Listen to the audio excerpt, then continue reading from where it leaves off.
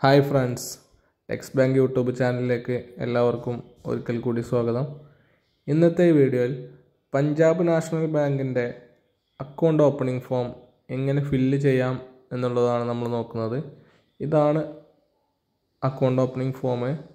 കുറേ പേജുകളിലൊരു ഒരു ബുക്ക് തന്നെയാണ് ഈ ഫോം.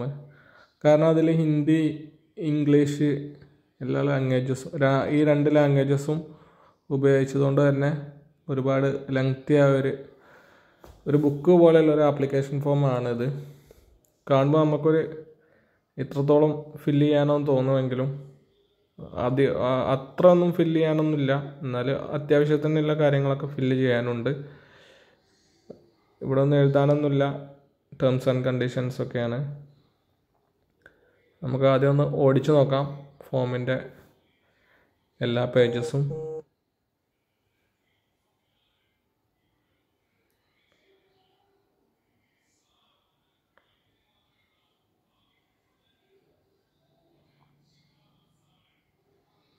നിങ്ങൾക്ക് ഈ വീഡിയോ ഇഷ്ടപ്പെട്ടു കഴിഞ്ഞാൽ text bank YouTube channel subscribe ചെയ്യണം.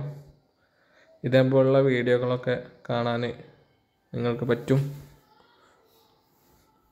നിങ്ങളുടെ സംശയങ്ങൾ കമന്റായിട്ട് ഇതിനിടയിൽ രേഖപ്പെടുത്തിയാൽ ടെക്സ് ബാങ്ക് യൂട്യൂബ് ചാനൽ അതിന് മറുപടി നൽകുന്നതാണ്. അപ്പോൾ നമ്മൾ ഫോം ഒന്ന് ഓടിച്ച് നോക്കി. നമുക്ക് എങ്ങനെ ഫില്ല് ചെയ്യാം എന്നുള്ളത് നോക്കാം. ആദ്യത്തെ പേജ് മുതൽ എങ്ങനെ എഴുതി തുടങ്ങാൻ നോക്കാം. അത് നമ്മൾ കറന്റ് ഡേറ്റ് ചെയ്താൽ ഇന്നത്തെ ഡേറ്റ് ചെയ്താൽ അതിനുശേഷം ബ്രാഞ്ച് നെയിം നമ്മൾ ഏത് ബ്രാഞ്ചിലാണ് അക്കൗണ്ട് തുടങ്ങാൻ ആഗ്രഹിക്കുന്നത്? ആ ബ്രാഞ്ചിന്റെ പേര് എഴുതുക. പിന്നെ ബ്രാഞ്ച് കോഡാണ് അത് നമുക്ക് എഴുതേണ്ട ആവശ്യമില്ല. നമുക്ക് അറി അറിയാത്ത കാര്യമാണ്. പിന്നെ customer I D account number കാര്യങ്ങളൊന്നും നമുക്ക് ഉണ്ടാവില്ല. അതുകൊണ്ട് എഴുതണ്ട. ഇവിടെ നമ്മൾ നോർമൽ അക്കൗണ്ട് ടിക്ക് ചെയ്യുക മേലെ നമ്മൾ ആദ്യം ന്യൂ ന്യൂ അക്കൗണ്ട് നില ടിക്ക് ചെയ്യുക പിന്നെ നോർമൽ അക്കൗണ്ട് പിന്നെ സ്കീം കോഡ് കാര്യങ്ങളൊന്നും എഴുതേണ്ട ആവശ്യമില്ല. അതിനുശേഷം existing customer I D if apple അത് നമുക്ക് ആദ്യം നമ്മൾ അവിടുത്തെ കസ്റ്റമർ ആണെങ്കിൽ മാത്രം എഴുതിയാൽ മതി. ആദ്യമായിട്ട് ഒരു അക്കൗണ്ട് തുടങ്ങാനാകുമ്പോൾ അത് എഴുതണ്ട. ആദ്യം നമ്മൾ നെയിം എഴുതുക. എല്ലാം ക്യാപിറ്റൽ ലെറ്ററിൽ എഴുതാൻ വേണ്ടി. എല്ലാം ക്യാപിറ്റൽ ലെറ്ററിൽ തന്നെ എഴുതുക. അതിനുശേഷം നമ്മൾ ഡേറ്റ് ഓഫ് ബർത്ത് എഴുതാം. ഡേറ്റ് ഓഫ് ബർത്ത് എഴുതാം. അതിനുശേഷം ജെൻഡർ എഴുതാം. മെയിലാണോ ഫീമെയിലാണോ ആണാണോ പെണ്ണാണോ എന്നില്ല അവർ ടിക്ക് ചെയ്യുക അതിനുശേഷം മാരീഡ് ആണോ അൺമാരീഡ് ആണോ എന്നുള്ളത് അതിന്റെ മുകളിൽ അവിടെ ടിക്ക് ചെയ്യാനുണ്ട്. ചെയ്തില്ല. നെയിം ഓഫ് ദി ഫാദർ ഉപ്പാന്റെ അച്ഛന്റെ പേര് എഴുതാം. അതിനുശേഷം മദറിന്റെ പേര് എഴുതാം. അമ്മേന്റെ പേര് എഴുതാം. കല്യാണം കഴിഞ്ഞതാണെങ്കിൽ വൈഫിന്റെ പേരും കൂടി അത് എഴുതാം. അതിനുശേഷം നമ്മൾ ഇല്ലിറ്ററേറ്റ് ആണോ നല്ല കാര്യങ്ങളാണ്. ഇല്ലിട്രേറ്റ് എഴുതാനും വായിക്കാനും അറിയുന്നുണ്ടെങ്കിൽ എസ് എന്ന് കൊടുക്കുക. അല്ലെങ്കിൽ നമ്മൾ ഇല്ലിട്രേറ്റ് ടിക്ക് ചെയ്ത് കൊടുക്കുക. അങ്ങനെ ചെയ്യുമ്പോൾ നമ്മൾ കയ്യൊപ്പാണ് സംഭവം ചെയ്യുക. ഇവിടെ മൈനർ ആണെങ്കിൽ മാത്രം എഴുതിയാൽ മതി ഏറ്റവും താഴത്ത്. ഇത്രയും കാര്യങ്ങളാണ് ആദ്യത്തെ പേജിൽ നമുക്ക് ഫില്ല് ചെയ്യാനുള്ളത്. ഇത് രണ്ടാമത്തെ പേജാണ് ഇവിടെ നമ്മൾ പിന്നെ നമ്മളെ റെസിഡൻഷ്യൽ സ്റ്റാറ്റസ് അതായത് ഇന്ത്യൻ ആണോ വേറെ രാജ്യക്കാരനാണെന്നല്ല ടിക്ക് ചെയ്യുക അവിടെ ഇന്ത്യനാവും എല്ലാവരും ടിക്ക് ചെയ്യുക അവിടെ റെസിഡൻഷ്യലും ടിക്ക് ചെയ്യുക ഇനി നമുക്ക് നമ്മുടെ ജോലി. നമ്മളെന്താണോ വർക്ക് ചെയ്യണത് അത്. സർവീസ് ആണെങ്കിൽ സർവീസ് പബ്ലിക് സെക്ടർ ഗവൺമെന്റ് ഒക്കെ ആണെങ്കിൽ അത് ടിക്ക് ചെയ്യുക അപ്പോൾ ഞാൻ അതേഴ്സ് ടിക്ക് ചെയ്തിട്ടുണ്ട്. അതിനുശേഷം ഗവൺമെന്റ് സെക്ടർ ആണെന്നുണ്ടെങ്കിൽ ഏത് വിഭാഗത്തിലാണ് പെടുന്നതെന്നല്ല ടിക്ക് ചെയ്യുക അതേഴ്സ് മേലെ കൊടുത്തുകൊണ്ട് അതിന്റെ ആവശ്യമില്ല. പിന്നെ നമ്മുടെ ബിസിനസ് ടൈപ്പ് അതും ഉണ്ടെങ്കിൽ അത് ചെയ്യുക പിന്നെ ആനുവൽ ഇൻകം നമ്മളെ വാർഷിക വരുമാനം. ഒരു അപ്രോക്സിമേറ്റ് ആയിട്ട് എഴുതാം. ഏകദേശം കണക്ക് എഴുതാം. നെറ്റ് വർത്ത് അത് എഴുതാം. ആനുവൽ ടേൺ ഓവർ അത് ബിസിനസ് ആണെങ്കിൽ മാത്രമൊക്കെ എഴുതിയാൽ മതി. പിന്നെ നമ്മുടെ റിലീജിയൻ ഏതാണ് നമ്മൾ ഹിന്ദു മുസ്ലിം ഇത് കൊടുക്കുക. പിന്നെ കാറ്റഗറി ജനറൽ ആണോ ഒ ബി സി ആണോ മൈനോറിറ്റി ആണോ അത് കൊടുക്കുക. ഒ ബി സി കൊടുക്കുക. ശേഷം customer type senior citizen staff അങ്ങനെ എന്തെങ്കിലും ആണെങ്കിൽ അത് കൊടുക്കുക. അപ്പോൾ നമ്മൾ സാധാ ജനറൽ ആയതുകൊണ്ട് ജനറൽ എന്ന് കൊടുക്കുക. അതിനുശേഷം ഡിസേബിലിറ്റി നമ്മൾ അംഗവൈകല്യമുള്ള ആൾക്കാരാണെന്നുണ്ടെങ്കിൽ എസ് കൊടുക്കുക അല്ലെങ്കിൽ നോ കൊടുക്കുക. ആണെങ്കിൽ എന്താണ് നമ്മളെ അംഗവൈകല്യം? കണ്ണ് കാണാത്തത് ഡിഫറെന്റ് ഏബിൾഡ് എന്താണെന്നുണ്ടെങ്കിൽ അത് കൊടുക്കാം പിന്നെ നമ്മൾ എഡ്യൂക്കേഷൻ ക്വാളിഫിക്കേഷൻ വിദ്യാഭ്യാസ യോഗ്യത ഞാൻ ഡിഗ്രി ഗ്രാജുവേറ്റ് കൊടുത്ത്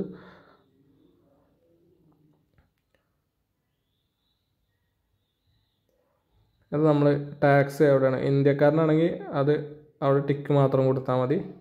വേറെ രാജ്യക്കാരനാണെങ്കിൽ നമ്മൾ അവിടെ ടാക്സ് അടക്കുന്നുണ്ടെങ്കിൽ അതിന്റെ ഡീറ്റെയിൽസ് കൊടുക്കുക. ഇവിടെ നമ്മൾ പാൻ കാർഡിന്റെ നമ്പറാണ് എഴുതേണ്ടത്. പാൻ കാർഡ് ഞാനോട് എന്റെ പാൻ കാർഡിന്റെ നമ്പർ ഒരു ഡമ്മി ആയിട്ട് എഴുതാണ് ഇവിടെ നമ്മുടെ പാൻ കാർഡിന്റെ നമ്പർ ഇവിടെ എഴുതിയിട്ട് കൊടുക്കുക. ഇത്രയാണ് രണ്ടാമത്തെ പേജിൽ എഴുതാറ് ഇനി മൂന്നാമത്തെ പേജിൽ നമ്മൾ നോക്കുകയാണെങ്കിൽ മൊബൈൽ നമ്പർ ആദ്യം എഴുതാണ് മൊബൈൽ നമ്പർ എഴുതുക. നമ്മൾ എസ് എം എസ് അലർട്ട് കാര്യങ്ങളൊക്കെ ഈ നമ്പറിലാണ് വരിക. അതിനുശേഷം ഇമെയിൽ ഐ ഡിയും കൊടുക്കുക. പല ആൾക്കാരും ഇമെയിൽ ഐ ഡി എഴുതാറില്ല. ഇമെയിൽ ഐ ഡി എഴുതാൻ ശ്രമിക്കുക. കാരണം നമുക്ക് സ്റ്റേറ്റ്മെന്റ് കാര്യങ്ങളൊക്കെ കിട്ടാൻ വേണ്ടിയിട്ട് ഏറ്റവും ഈസിയായ വേ ആണ് ഇമെയിൽ എന്ന് പറയുന്നത്. നമ്മൾ ആപ്പ് വഴിയൊക്കെ ഡൗൺലോഡ് ചെയ്യുമ്പോഴൊക്കെ ഇമെയിലിൽ പി ഡി എഫ് ആയിട്ട് നമുക്ക് കിട്ടാനൊക്കെ ഇമെയിൽ ഐ ഡി എഴുതാം. ഇനി ആൾട്ടർനേറ്റീവ് മൊബൈൽ നമ്പർ വേറെ മൊബൈൽ നമ്പർ ഉണ്ടെങ്കിൽ അതും കൂടി എഴുതാം. അതിനുശേഷം നമ്മൾ പ്രൊവൈഡ് ചെയ്യണ ഐ ഡി പ്രൂഫ് എന്താണെന്ന് കൊടുക്കുക. ആധാർ ആധാർ ക്ലിക്ക് ചെയ്യുക. ടിക്ക് ചെയ്യുക. ഇഷ്യൂ ഡേറ്റ് ഒന്നും കാണുന്നില്ല എക്സ്പയറി ഡേറ്റ് ഒന്നും ഇല്ല. ആധാറിന് അപ്പോൾ അതൊന്നും എഴുതേണ്ട ആവശ്യമില്ല. പിന്നെ അഡ്രസ് പ്രൂഫ് എന്നുള്ള നിലയ്ക്ക് നമുക്ക് വീണ്ടും നമ്മൾ ആധാറിന് ടിക്ക് ചെയ്യുക. ആധാറിനെ നമുക്ക് ഐ ഡി പ്രൂഫായിട്ടും അഡ്രസ് പ്രൂഫായിട്ടും ഉപയോഗിക്കാം. അപ്പോൾ ആധാർ എന്ന് എഴുതിയാൽ മതി. ഇഷ്യൂ ഡേറ്റ് കാര്യം എക്സ്പയറി ഡേറ്റ് ഒന്നും വേണ്ട. അതിനുശേഷം അഡ്രസ്സ് ഡീറ്റെയിൽസ് അഡ്രസ്സ് ടൈപ്പ് റെസിഡൻഷ്യലിൽ ടിക്ക് ചെയ്തതിന് ശേഷം നമ്മൾ റെസിഡൻഷ്യൽ അഡ്രസ്സ് നമുക്ക് ഇവിടെ എഴുതാം. ആധാറിൽ അതേപോലെ തന്നെ ഓരോ വരി വിട്ടിട്ട് എഴുതിയാൽ മതി. ആധാറിൽ അതേപോലെ ഇങ്ങോട്ട് പകർത്തി എഴുതിയാൽ മതി.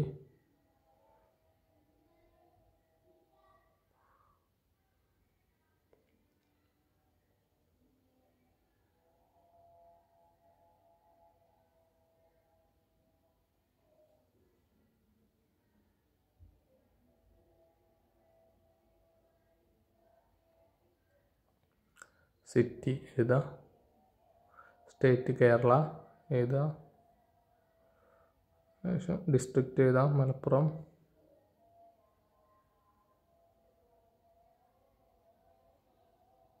പിൻകോഡ് എഴുതാം അതിനുശേഷം ഈ ഏരിയയിൽ നമ്മൾ സൈൻ ചെയ്യാം.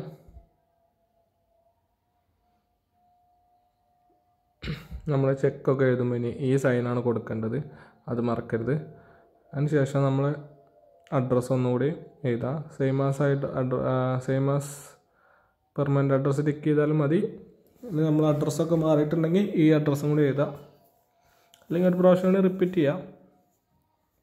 അഡ്രസ്സ് മാറിയിട്ടില്ലെങ്കിലും നമ്മൾ പെർമനന്റ് ആധാറിൽ അഡ്രസ്സിലല്ല ഇപ്പോൾ താമസിക്കുന്നുണ്ടെങ്കിൽ നമ്മളെന്താ തീർച്ചയായിട്ടും ഇത് ഫില്ല് ചെയ്യണം.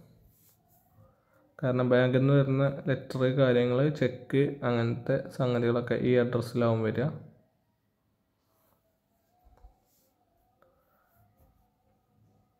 എല്ലാ കോളം ഫില്ല് ചെയ്യുക.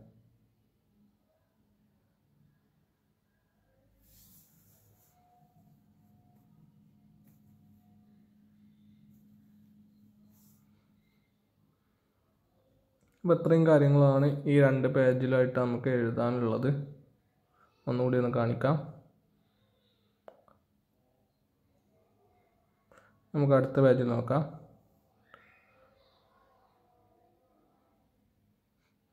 അടുത്ത പേജിൽ നമുക്ക് സെൽഫ് ഡിക്ലറേഷൻ മാത്രമേ ഉള്ളൂ. അത് അവിടെ നമ്മൾ എസ് ടിക്ക് ചെയ്ത് കൊടുക്കുക. അവിടെ എസ് ടിക്ക് ചെയ്ത് കൊടുക്കുക. അത്രേ ചെയ്യാനുള്ളൂ. പിന്നെ ഇവിടെ ഒരു ഫോട്ടോ നമുക്ക് ഒട്ടിക്കണം. ഒരു ഫോട്ടോ ഇവിടെ ഒട്ടിക്കുക. പാസ്പോർട്ട് സൈസ് ഫോട്ടോ ഒട്ടിക്കുക. അതിന് ചാരി ഇവിടെ ഈ കോളത്തിൽ നമ്മൾ പേരെഴുതി ഒപ്പിടാം നമുക്ക് സൈൻ ചെയ്യാം. ഇപ്പോൾ നമ്മൾ പേരെഴുതി ഒപ്പിടണാവും ഒന്നുകൂടി നന്നാവുക. കാരണം നമ്മൾ ഹാൻഡ് റൈറ്റിങ്ങും കാര്യങ്ങളും ഒക്കെ ചെക്കിലുണ്ടാവും ചെക്കൊക്കെ എഴുതുമ്പോൾ അത് ആൾ ഒപ്പ് ദുരുപയോഗം ചെയ്യാൻ സാധ്യത കുറവാണ് നമ്മൾ പേരെഴുതി സൈൻ ചെയ്യുമ്പോൾ. ഞാൻ ഇപ്പോൾ ഇവിടെ സൈൻ മാത്രം ചെയ്തിട്ടുള്ളൂ. പേരെഴുതി സൈൻ ചെയ്യാൻ വേണ്ടി ശ്രദ്ധിക്കാം ഇത് അതിന്റെ തൊട്ട് പേജാണ്. ഇതിൽ നമ്മളെ ഫെസിലിറ്റി നമ്മളെ അക്കൗണ്ടിന്റെ കാര്യങ്ങളാണ്. സേവിങ്സ് ബാങ്ക് അക്കൗണ്ട് ടിക്ക് ചെയ്യുക. മോഡ് ഓഫ് ഓപ്പറേഷൻ നമ്മൾ എങ്ങനെയാണ് ചെയ്യുന്നത്? അപ്പോൾ സെൽഫ് ആവും സെൽഫ് എന്ന് കൊടുക്കുക. പിന്നെ സർവീസസ് റിക്വയർഡ് നമുക്ക് എ ടി എം കാർഡ് വേണമല്ലോ. അപ്പോൾ നമ്മളിവിടെ എസ് എസ് കൊടുക്കുക. എസ് കൊടുത്തതിന് ശേഷം ഇവിടെ എ ടി എമ്മിൽ പ്രിന്റ് ചെയ്യേണ്ട പേര് എന്താണെന്നുള്ളത് നമുക്കിവിടെ കൊടുക്കാം. എന്ത് പേര് വേണമെങ്കിലും കൊടുക്കാം കേട്ടോ. അപ്പോൾ അവിടെ പേര് കൊടുത്തു. അപ്പോൾ ഇത്രയും കാര്യങ്ങളാണ് ഈ രണ്ട് പേജിൽ ചെയ്യാനുള്ളത്. പ്രത്യേകിച്ചൊന്നും എഴുതാനും കാര്യങ്ങളൊന്നുമില്ല ഈ പേജിൽ.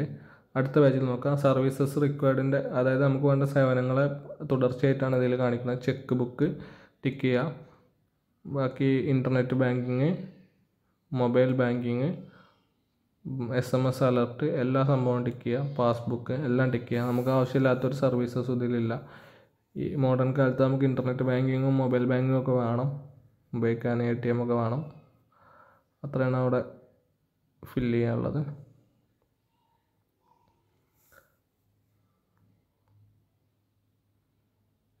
പിന്നെ നമ്മൾ ഡെപ്പോസിറ്റിന്റെ കാര്യങ്ങളൊക്കെ ചോദിക്കുന്നത് ഫിക്സഡ് ഡെപ്പോസിറ്റ് ആണെന്ന് നമ്മളിപ്പോൾ ഫില്ല് ചെയ്യേണ്ട ആവശ്യമില്ല.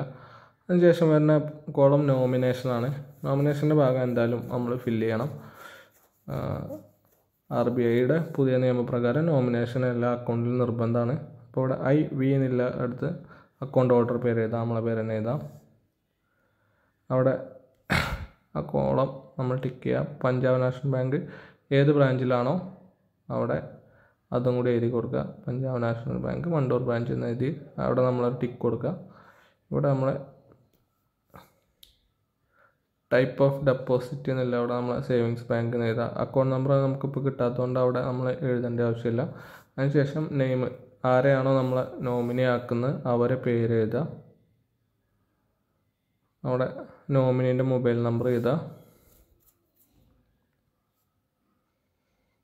അതിനുശേഷം റിലേഷൻഷിപ്പ് എഴുതുക. സ്പൗസ് അല്ലെങ്കിൽ വൈഫ് എന്ന് എഴുതുക. നോമിനീന്റെ ഏജ് ഏജ് എഴുതാം ഡേറ്റ് ഓഫ് ബർത്ത് എഴുതണമെന്നില്ല നിർബന്ധമില്ല.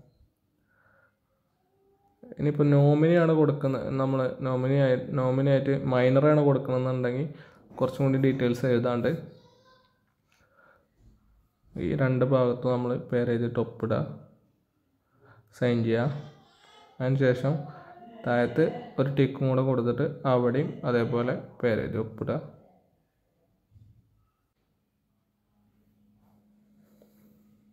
ഇത്രയും കാര്യങ്ങളാണ് നോമിനേഷന്റെ പേജിൽ എഴുതാനുള്ളത്. നമുക്ക് അടുത്ത പേജിൽ പോവാം. ഈ പേജിൽ ടേംസ് ആൻഡ് കണ്ടീഷൻസും നമ്മൾ അക്സെപ്റ്റ് ചെയ്ത സംഭവമൊക്കെയാണ്. അത് പേര് എഴുതിയിട്ട് അവിടെ സൈൻ ചെയ്യുക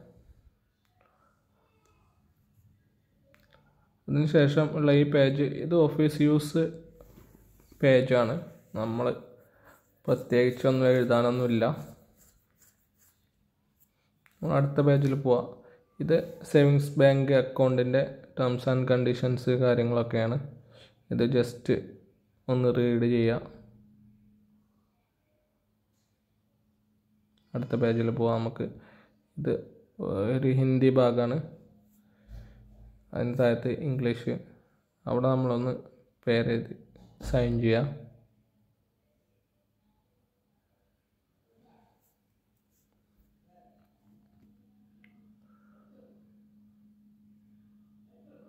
ഈ ഭാഗം ഒന്നും എഴുതാനൊന്നുമില്ല.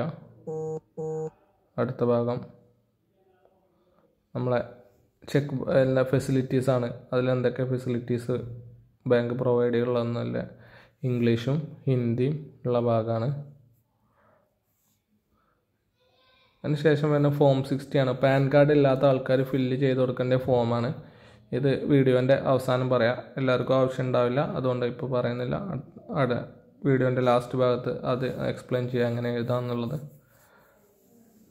പിന്നെ ഇതും പിന്നെ മൈനർ അക്കൗണ്ട് മൈനറായ അക്കൗണ്ട് മൈനേഴ്സിനുള്ള അക്കൗണ്ട് ചെയ്യുമ്പോൾ അവർ ഫില്ല് ചെയ്ത് കൊടുക്കേണ്ടതാണ് പതിനെട്ട് വയസ്സിന് താഴെയുള്ള ആൾക്കാർ ഫില്ല് ചെയ്യേണ്ടതാണ്. ആ ഫോമാണ് ഇതിന്റെ താഴത്തും നമ്മളൊന്ന് സൈൻ ചെയ്യാം.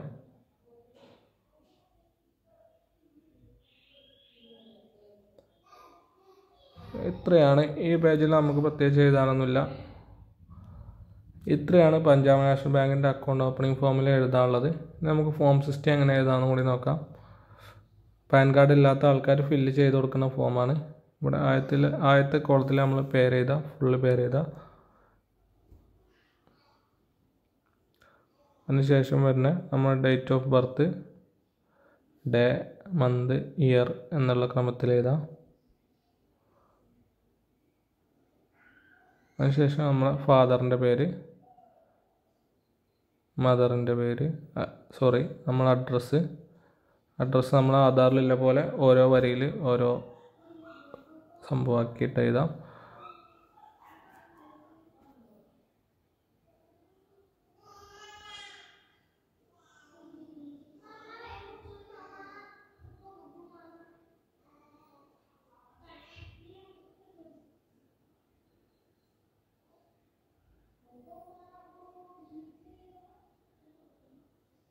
മൊബൈൽ നമ്പർ എഴുതാം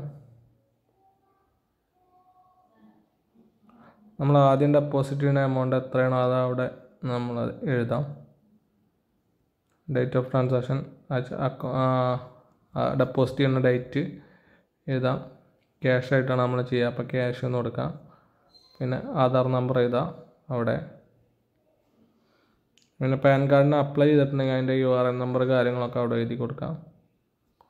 പിന്നെ ഡിക്ലറേഷന്റെ അവിടെ നമ്മൾ പേരൊന്ന് എഴുതാം. ഐ എന്നുള്ളിടത്ത് നമ്മൾ പേര് എഴുതാം.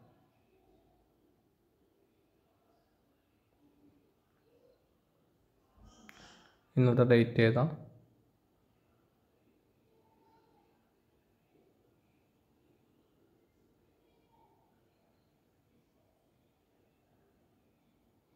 പ്ലേസ് ചെയ്ത സ്ഥലം. പിന്നെ ഇവിടെ ഒന്ന് സൈൻ കൂടി ചെയ്യാം. ഇങ്ങനെയാണ് ഫോം സിക്സ്റ്റി നമ്മൾ ഫില്ല് ചെയ്യേണ്ടത്. വീഡിയോ ഇഷ്ടപ്പെട്ടാൽ എല്ലാവരും text bank YouTube channel subscribe ചെയ്യുക. മാക്സിമം ഷെയർ ചെയ്യുക. താങ്ക്